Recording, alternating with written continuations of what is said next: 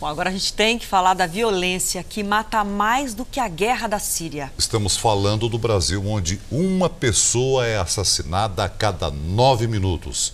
Os dados são do Anuário Brasileiro de Segurança Pública. O assassinato foi na calçada, na orla de Aracaju. Igor de Faro morreu sem reagir. Os criminosos fugiram.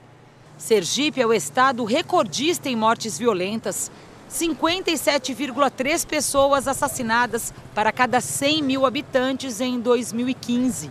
Alagoas e Rio Grande do Norte vêm na sequência. Em todo o país, 58 mil pessoas foram vítimas de mortes violentas no ano passado. 160 assassinatos por dia, um a cada nove minutos.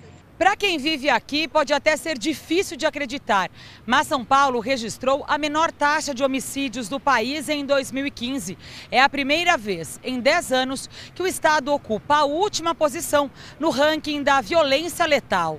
Não tem que comemorar, é longe do ideal, tem que melhorar. Se aqui é o melhor estado, eu não consigo imaginar o que esteja lá em último. O levantamento levou em conta as mortes violentas intencionais, como as provocadas em confrontos policiais. Por dia, nove pessoas perderam a vida no ano passado, vítimas da polícia. Há uma aposta de que é, você para você controlar o crime, para você reduzir a violência, você tem que, na verdade, é, se utilizar de mais violência. E a gente tem, tem verificado que isso não tem trazido bons resultados. A gente não está se sentindo mais seguro por causa disso. São os números que revelam a gravidade do problema. Entre 2011 e 2015, foram assassinados mais de 278 mil brasileiros, quase 23 mil a mais que a guerra da Síria, que choca tanto o mundo.